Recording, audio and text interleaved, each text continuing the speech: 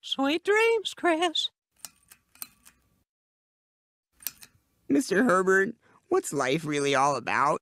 Well, I suppose it's about trying new things, sampling the sweet and the savory, not being afraid to take everything life wants to throw up on into you. Wow, I never looked at it like that before. Thanks, Mr. Herbert. But don't you think it's scary to try new things? No, Chris. Life is like a new baseball glove. At first, you think you're never going to get a ball in there. But then you oil it up, work your fingers around in there a little, and pretty soon you're pitching and catching. I guess that makes sense. Sorry.